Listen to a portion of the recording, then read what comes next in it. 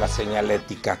Eso sería por el momento lo que está haciendo la Dirección General de Servicios Municipales y presentar sus 100 días de labores en lo que ha sucedido de octubre a los 10 días de enero en el área de cementerio, en el área de imagen urbana, el área de parques, jardines, alumbrado público, rastro y centro histórico.